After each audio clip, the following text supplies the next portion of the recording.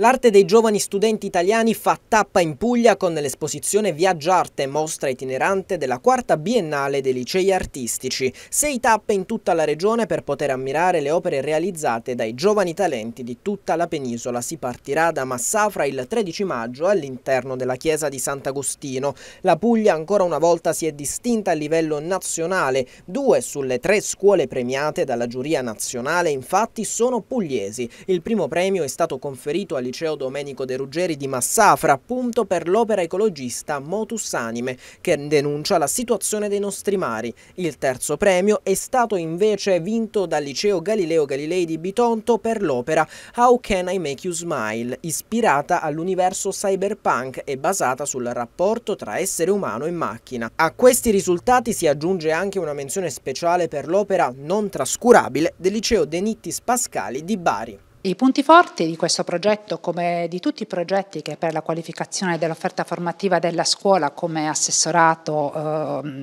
valorizziamo anche attraverso una collaborazione non solo finanziaria ma, ma proprio anche reale, eh, è proprio quello di eh, mettere la creatività, tutto ciò che gli studenti possono mettere a disposizione della comunità più ampia al servizio della Regione Puglia.